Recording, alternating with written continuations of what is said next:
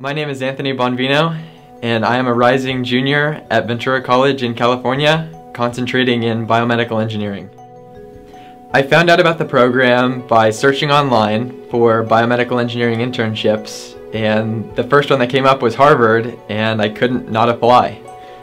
This summer I'm working on a diagnostic tool for Brucella abortus, which involves a polymerization amplification technique to form a hydrogel on the device that we're manufacturing.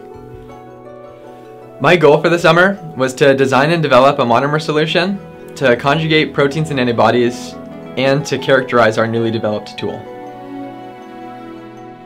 An interesting fact about myself is last year I created a startup called Spacecopters where I would design, develop, build, and fly aerial photography equipment.